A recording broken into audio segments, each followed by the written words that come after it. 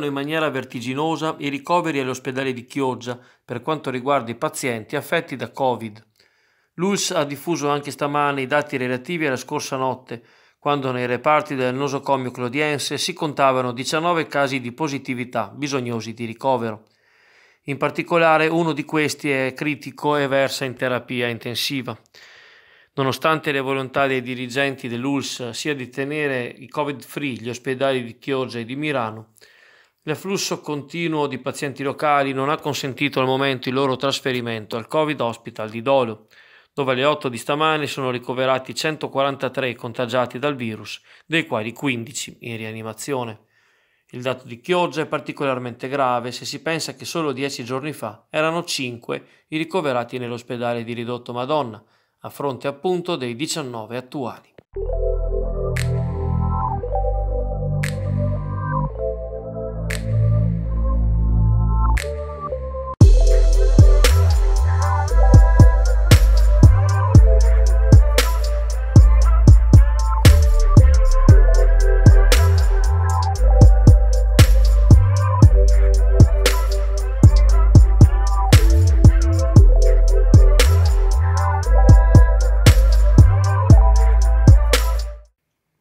Facendo molto rumore negli ambienti della politica l'indiscrezione riportata ieri da Chioggia Azzurra, secondo la quale sarebbero in atto prove di un accordo tra il Movimento 5 Stelle e il Partito Democratico per le elezioni comunali 2021, accordo che starebbe spaccando il movimento stesso e che prevederebbe la defenestrazione dalle liste di almeno tre eminenti consiglieri stellati, nonché dell'assessora Alessandra Penzo.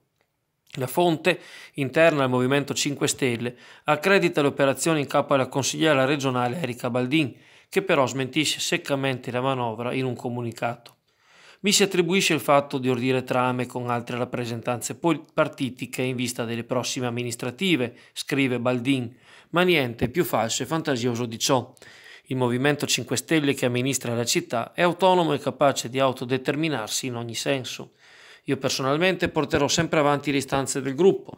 Le priorità in questo momento è continuare il buon lavoro fatto fino ad oggi per la città e costruire insieme ai cittadini e alle categorie economiche un programma condiviso e concreto. Il mio operato, conclude Baldin, è sempre stato nel senso della disponibilità a 360 gradi nel collaborare con tutte le forze politiche per il bene dei miei concittadini. Per me le buone intenzioni vengono prima delle appartenenze ai vari partiti. Anche il PD ufficialmente si chiama fuori dal discorso, pur non escludendolo a priori. Nessuna prova di accordo con il Movimento 5 Stelle è quanto oggi si è verificato, spiega Jonathan Montanariello, collega di Erika Baldin nel Consiglio regionale Veneto. Non confondiamo, continua l'esponente democratico, le alleanze rispetto alla effettiva collaborazione con la consigliera Baldin nel lavoro congiunto a Palazzo Ferrofini per tutelare gli interessi clodiensi. A decidere, si legge nella nota firmata da Montanariello, saranno gli organismi dirigenziali del PD locale. Sicuramente le alleanze non sono un argomento attuale. In questo momento l'unico impegno che la comunità democratica ha è lavorare a un programma serio e dialogare con tutte le realtà di buonsenso che vorranno partecipare a una vera e propria ricostruzione della città. Qualsiasi decisione finale verrà presa, conclude il consigliere regionale, passerà attraverso una scelta condivisa e unitaria del Partito Democratico locale.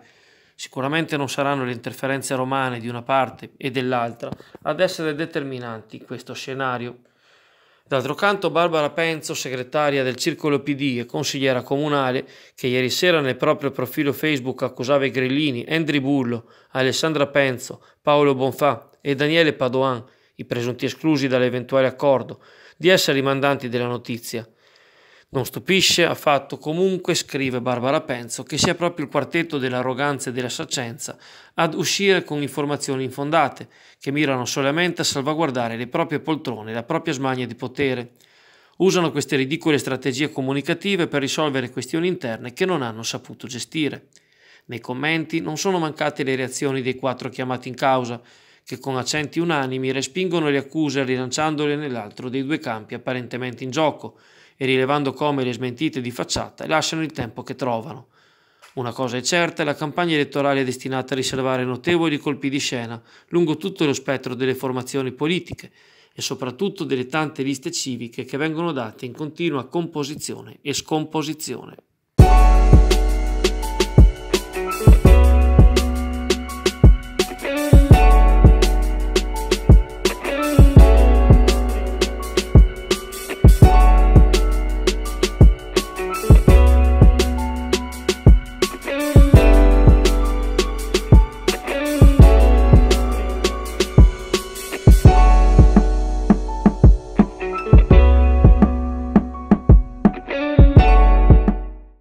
Emergono versioni contrastanti in merito all'incidente stradale che sabato sera, attorno alle ore 19.30, ha visto coinvolto il giovane fattorino di una pizzeria per asporto. Il ragazzo, che viaggiava a bordo di uno scooter, è stato ritrovato con il volto a terra lungo il ponte translagunare che unisce Chioggia Sottomarina, non lontano dal chiosco in direzione di quest'ultima, e ha riportato un trauma facciale con ferite alla fronte, medicati al pronto soccorso. Il malcapitato ha pochi ricordi relativi al momento della caduta, essendosi risvegliato al pronto soccorso come da un brutto sogno. Riferisce di aver sentito un botto, poi nient'altro. Una delle persone che ha assistito alla scena e che poi ha contattato il ragazzo stesso parla di un SUV nero che ha tagliato la strada allo scooterista, urtandolo e facendolo cadere di conseguenza, senza poi soccorrerlo e anzi dileguandosi alla svelta. Ma un altro testimone oculare, che afferma di aver chiesto i soccorsi al 118, riferisce che il giovane fattorino sarebbe caduto autonomamente, scivolando lungo l'asfalto. Aveva perso i sensi, spiega la fonte a Chioggia Azzurra, e quando provato a comunicare con lui, inizialmente nemmeno rispondeva, salvo rinvenire due minuti più tardi, dicendo di essere addolorante alla caviglia. Per terra intanto sono rimasti i segni dell'incidente, in merito al quale le forze dell'ordine continuano le attività di indagine.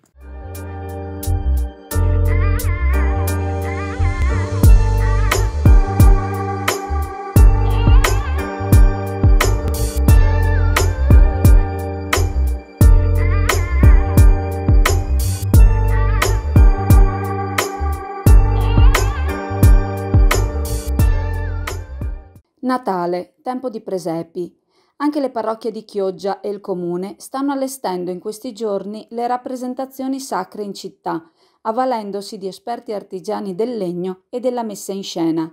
Oggi alle ore 18 verrà inaugurato il presepe istituzionale alla Loggia dei Bandi, ex comando della Polizia Locale in Corso del Popolo, chiuso dal febbraio 2019 e particolarmente indicato a ospitare la capanna, data la forma dell'edificio, peraltro opportunamente addobbato e illuminato, e del timpano. L'installazione è stata organizzata dall'Associazione Bottega di San Francesco e curata da Manuel Voltolina. Il presepio comunale rimarrà visitabile fino al 10 gennaio prossimo ma ovviamente anche le comunità cristiane che si raccolgono attorno alle chiese del territorio si sono prodotte nello sforzo di allestire le rispettive raffigurazioni della Natività. In particolare nel centro storico ospitano già i presepi le chiese di San Giacomo a cura dei volontari Renzo Lombardo, Sergio Camuffo e Salvino Boscolo Caporale. L'ambientazione è prettamente di calle e la luce cambia dal giorno alla notte. A San Domenico, oltre al presepe, è stata ripristinata anche la croce luminosa all'esterno e sono stati illuminati gli alberi in giardino, mentre più persone si sono date da fare per accogliere con analoga installazione i fedeli della chiesa di Sant'Andrea.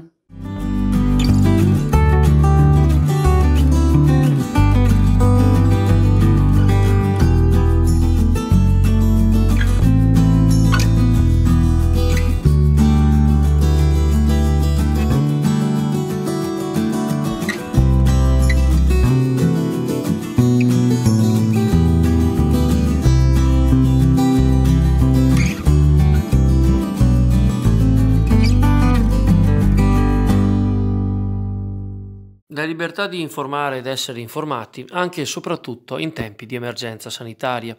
Si è tenuto questa mattina davanti a Palazzo Labia, sede RAI di Venezia, un presidio giornalistico di solidarietà verso i cronisti veneti minacciati di querela in seguito ai loro reportage in merito all'andamento dell'epidemia di Covid-19 nella regione.